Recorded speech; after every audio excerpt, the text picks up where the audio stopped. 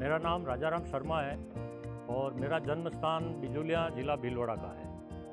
मेरे पिताजी मंदिर और आर्किटेक्ट का काम करते थे और मेरे, उस में मेरी उम्र तेरह साल की थी जब मुझे नाथद्वारा की पिछवाई परंपरा में उन्होंने गुरु शिष्य परंपरा के लिए भेजा।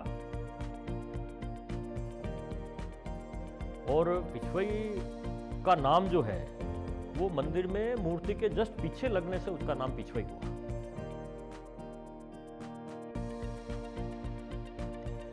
हमारे को दिमाग में, जैसे मेरे गुरुजी कहते थे कि आर्ट जो हम बना रहे हैं, वो पहले दिमाग में बनती है, फिर नीचे बनती है।